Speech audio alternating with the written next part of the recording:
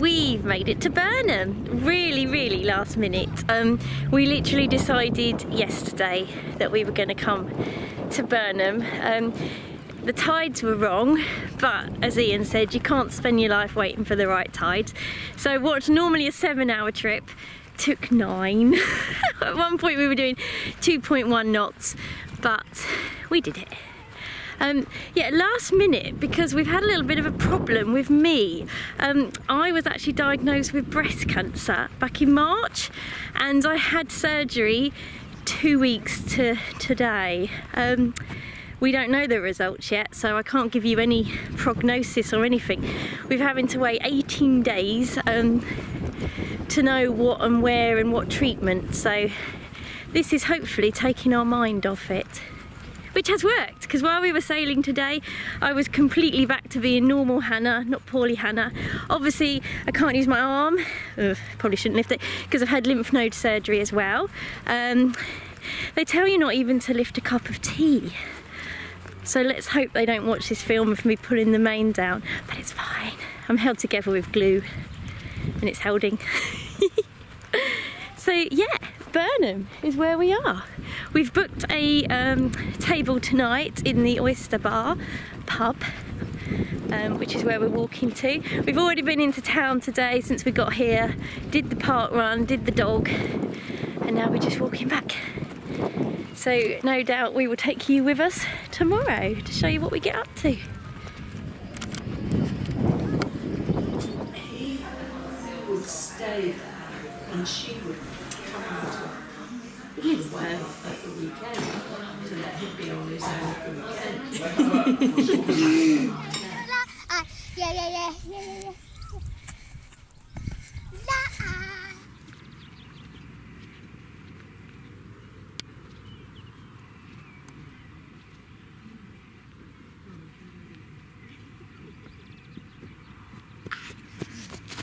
Right, well Burnham wouldn't be Burnham without our famous swing. Izzy can actually touch the ground herself now and Daddy is about four years older.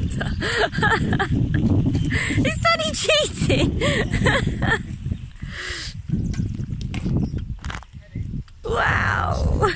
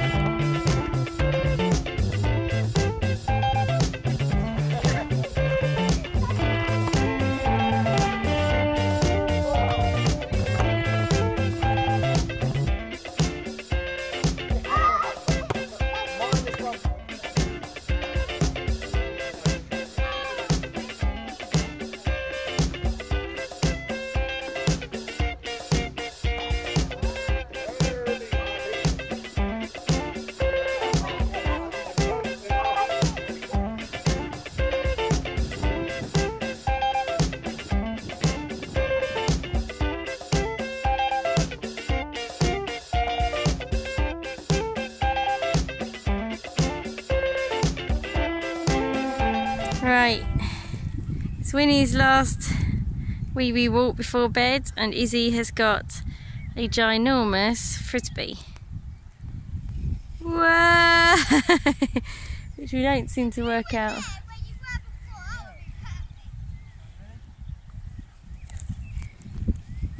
No, they haven't managed to catch it yet.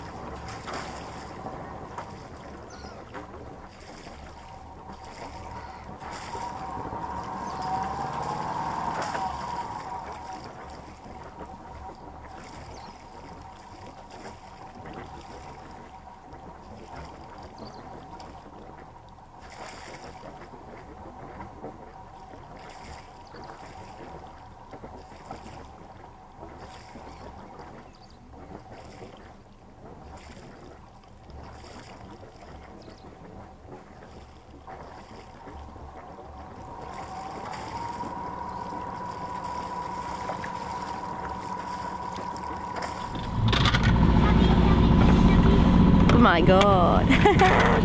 well, as usual, this is the first mirror I see because we don't have one. It's 6.06 and we're leaving Burnham. Obviously I can't help Ian because of my arm. He's doing really well. So the plan is, as soon as I can't actually pull anything or do anything proper anyway, I might just go back to bed for a bit with Izzy, who's already up. Can't really be quiet when you're leaving a marina. Very low. Very pretty.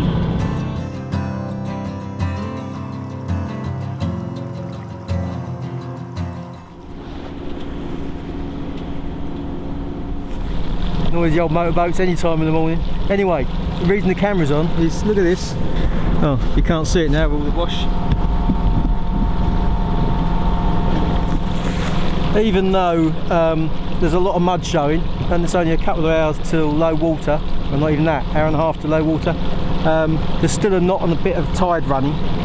Um, and it's quite a unique tide today uh, in that it goes below chart datum. I've never seen that before. Don't know if anyone else has. But um, if I just quickly show you. This isn't, isn't my only source of charts, uh, tides, but they all agree. So this is Burnham. It's 6.20, oh low tide, it's a couple of hours to low tide, 8.45, but it actually is half a metre below chart datum and there's precious little water around the Whitaker when you go out here anyway.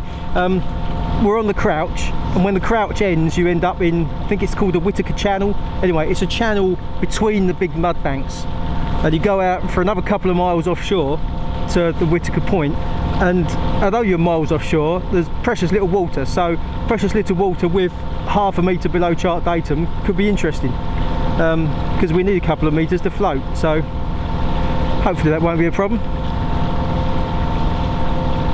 Anyway unlike coming here you see coming here let's move out the front it's a bit quieter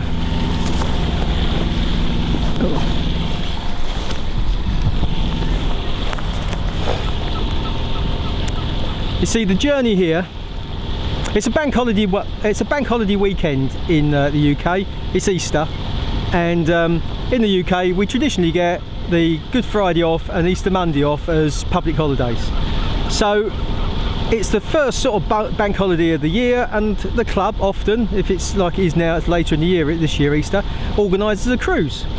And Bob, the guy who does all the organising, did a great job of organising the cruise, except everyone went, but the tides were all wrong and no one went on the cruise. Well, that's the difference between if you like, a, in my eyes, the difference between a full-time cruiser and a part-time cruiser is a full-time cruiser can say the tides are all wrong or the wind's in the wrong direction, I'll wait for another day. When you're a part-time cruiser like we are, and the forecast says it's going to be a sunny Easter weekend, which never happens. Everyone in the UK will agree. You might get the odd nice day at Easter, but it's never a sunny weekend. Anyway, it was a lovely sunny weekend this year. We've got flat seas, light winds okay not great for motor sailing in but you know perfectly good for traveling in but the tides are all wrong so we could have sat at home and said the tides are all wrong or we could have come out and as it happens we've come out and coming here was a bit of a slog you normally try to aim to get to the Whitaker, the point we were talking about, at low tide because then you get swept all the way out through the, the Medway and the Thames up to the Whitaker on the tide and then you get swept into the Crouch on the tide. Because the tides were wrong, because we left a, little, a couple of hours later and we really should have um, oh that arm's getting sore because we left a couple of hours later than we should have we ended up with the slog against the tide all the way up there um, getting pretty much the Whitaker at high water. So then we had to slog our way back into the crouch so the whole journey took sort of three hours longer than it should have done. But um, but it was all right because it was pleasant enough journey and we've had a great couple of days in Burnham. Uh, but now we've left early and now because the tides are earlier here and because it's a couple of days later so the tides are a couple of days later we're now leaving at the perfect time to get out to the the uh, Whitaker so we're going to have an easy journey back because we're going to get swept out of the crouch on the tide and we're going to get swept all the way in through the Thames up the Medway on the tide. And it makes a big difference. There's even like I say there's a knot and a half tide running at the moment. And at its peak there was a good three knots of tide out in the uh, Thames when we were trying to beat our way up to the Whitaker, which when your boat is doing five and a half knots, say, is the difference between doing seven and a half knots and three knots, um, or two and a half knots. So imagine, yeah, it's three times the speed difference. So it's important. If only someone had made a film about tides, I could understand. Anyway, the problem we might have today, of course, is as I said, when we get out to the Whitaker today, there isn't going to be any water, and there, there always isn't much water out the Whitaker. You always have to be careful cutting the corner, but there's normally, say, a metre above chart datum, and with half a metre below chart datum, there's going to be even less. So um, we shall see.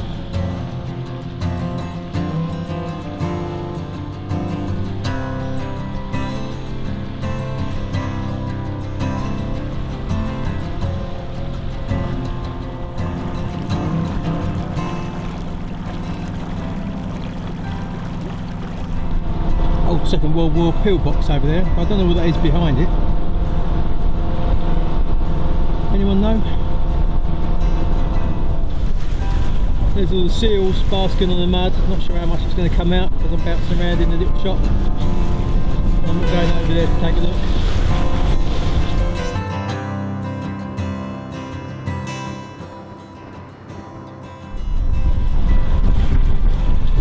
So that's the Whitaker beacon that we're going round. Impressive as it once was. Used to have a and everything. And of course it used to mark the spit, end of the spit of mud that in this channel, but it's not really even in the right place anymore because the mud's moved. But it's still the landmark that we're heading towards that we've basically got to get round. Except we've got to go another mile or so further out to sea really on this low tide.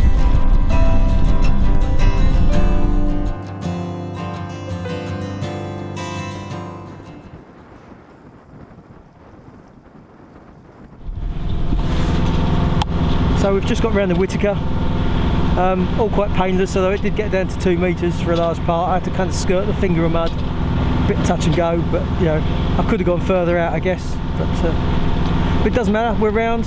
It's amazing, you go like 100 yards once you clear this bit of mud and it gets to 10 metres or something and uh, you're home dry. So um, now it is bang on low water, so um, half an hour or so the tide will start kicking in and it'll sweep us all the way back home. So uh, can't see me turning the engine off any time soon, but the jib's giving half a knot, so um, which is good, and we're uh, we're home in no time.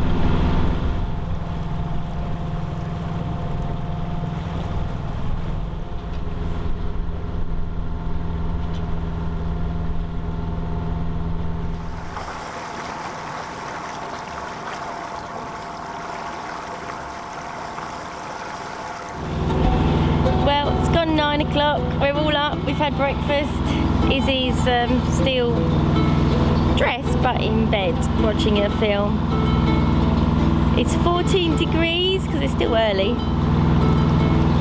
And we're doing about six knots. So it's not bad, is it? Better than coming up here. Ian's bored, playing the ukulele.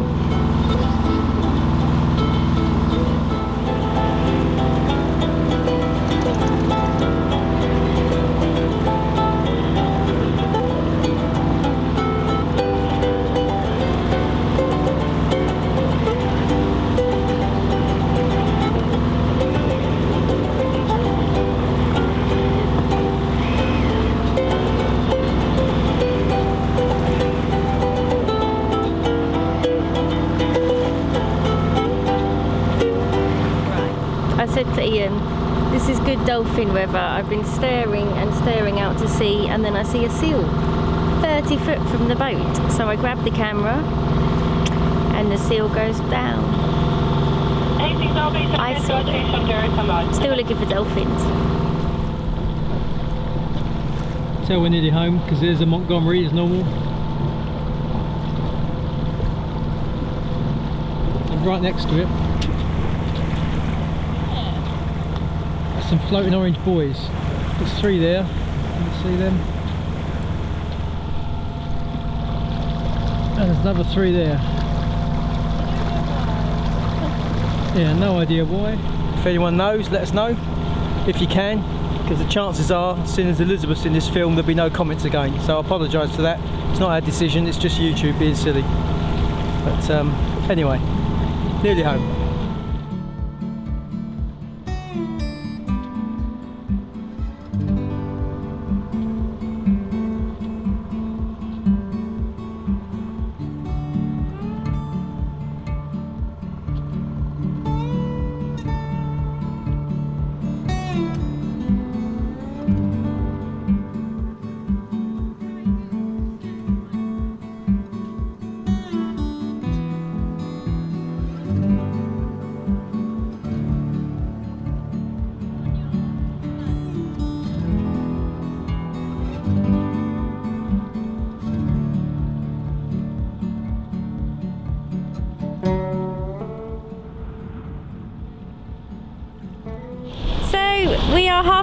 Hour to the moorings. Um, it's been really, really good fun. I'm so pleased we made the effort. Um, I'm not sure how many people two weeks after surgery in two places um, go on a boat, but I haven't pulled that much and I've taken it easy for me, so we should be fine. Um, yeah, I'm really, really pleased we did make the effort. We literally had a day's notice before we thought, let's do it. Um, we would have liked more wind, but maybe under the circumstances, that's probably a good thing we didn't. We've motored there and back. The boat behaved absolutely perfectly. Um, we are out all the time and we played in the park all day. How fantastic was that? Um, yeah, hopefully I'll see you soon. Happy sailing!